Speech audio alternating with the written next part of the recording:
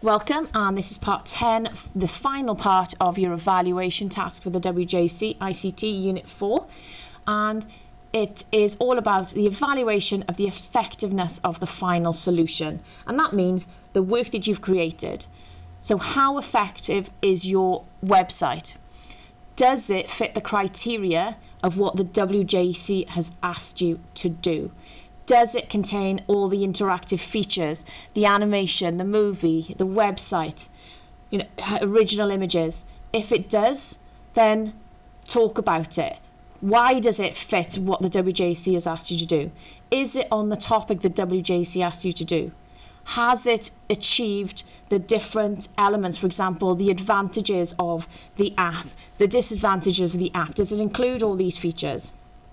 Does your website do this? If so, how?